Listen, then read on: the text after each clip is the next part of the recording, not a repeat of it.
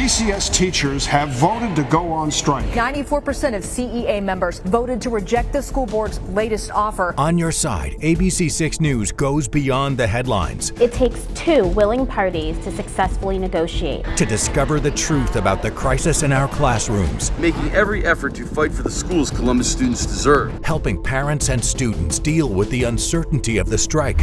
Through it all, ABC 6 News is getting the answers you and your children deserve.